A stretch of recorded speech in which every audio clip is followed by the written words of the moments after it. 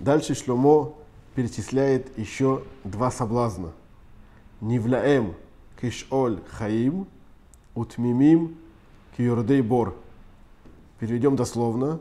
Нивляэм проглотим их, кишоль, как преисподня, хаим, живыми, утмимим и наивных, киюрдей бор, как те, которые спускаются в яму. Теперь все вместе. Проглотим живых, как преисподня, а наивных, как будто они спускаются в яму. Давайте разберем. Когда идет война, то есть три сценария победы. Самый неудачный сценарий – это когда мы врага уничтожаем полностью, его, его дома, весь его город, да, допустим, бросают на него какую-то бомбу, и все уничтожается. Средний сценарий, когда побеждают врага, его уничтожают и забирают его дома, его имущество, его города. И самый удачный сценарий – это захватить, э, победить, захватить врага тоже всех живыми. И тогда можно использовать его имущество, его дома, а самих людей направить работать э, пленных, да, направить работать на себя. Они будут э, платить налоги, они будут делать э, разные работы черные. Да, и также, если есть там хорошие специалисты, хорошие умы, то мож, они могут развивать науку, развивать да, разные сферы экономики. И это успешная победа. И поэтому мильхама на иврите от слова, от корня лехем, хлеб. Да, потому что суть, суть войны это, это хлеб.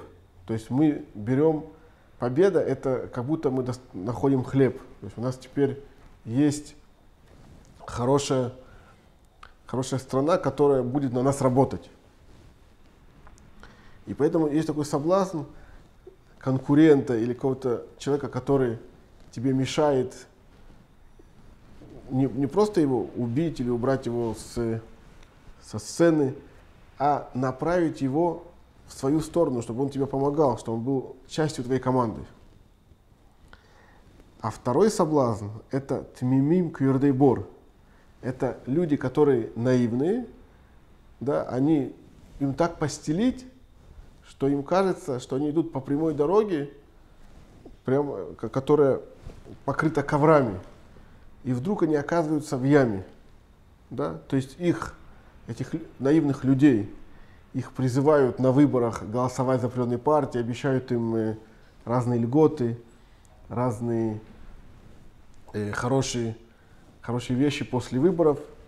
И, и когда выборы заканчиваются, то не обязательно, что это выполняют. Но также наивных людей используют во всем их уговаривают вкладывать деньги в акции, говорят, что эта акция будет расти, посмотри, она растет, росла до сих пор, будет расти и дальше. Да, их уговаривают вкладывать в разные пирамиды, в разные стартапы, в разные проекты. Да, и потом э, э эти, то есть им показывают прямую дорогу, они видят ковры, все красиво, все хорошо, а на самом деле они оказываются в яме с долгами и с э, то есть их имущество используется в, в своих целях. Это называется утмимим кюрдейбор. Шломо продолжает. Бни аль-тилех бедерех и там, мне раглейха минетиво там. Переведем дословно. Бни, сын мой, аль-тилех, не иди, бадерех и там, одной дорогой с ними, мнераглейха, воздержи свои ноги, минетиво там, даже от их тропинок. Теперь все вместе. Сын мой, не иди с ними одной дорогой, воздержись даже от их тропинок. Давайте разберем. Здесь Шломо Мелик сделал аллегорию из дороги и тропинок. Дорога – это то, что идет по городу, и все по ней, большая дорога, все по ней идут, а тропинки, они обычно отходят от дороги к каждому дому в частности. То есть у каждого есть своя тропинка к своему дому или от своего дома к общей дороге, а по общей дороге уже идут все. И это аллегория, что есть какие-то общие идеологии, а есть какие-то лозунги, которые используют те или иные люди в своих целях, когда им выгодно это сделать. И говорит Шломо, что когда тебя грешники зовут на какую-то свою идеологию, то ты не ходи с ними. И даже по их тропинкам, то есть даже не бери их лозунги, не бери ничего у них, потому что в конце концов ты попадешь с ними на один путь. Я желаю нам всем, чтобы мы стали частью хорошей общины, хорошей команды, праведной компании, чтобы нас окружали хорошие, порядочные, целеустремленные люди.